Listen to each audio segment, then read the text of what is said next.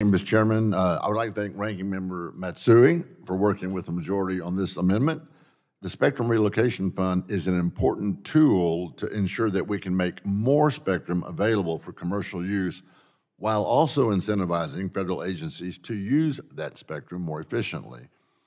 This amendment would make improvements to the bill that would help speed the process for federal agencies to use that spectrum, their spectrum, more efficiently, and make more federal spectrum actually commercially available.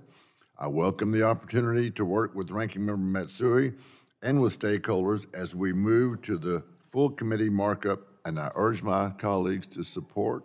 And Mr. Chairman, unless somebody wants me to yield back time, I will yield it to you. I think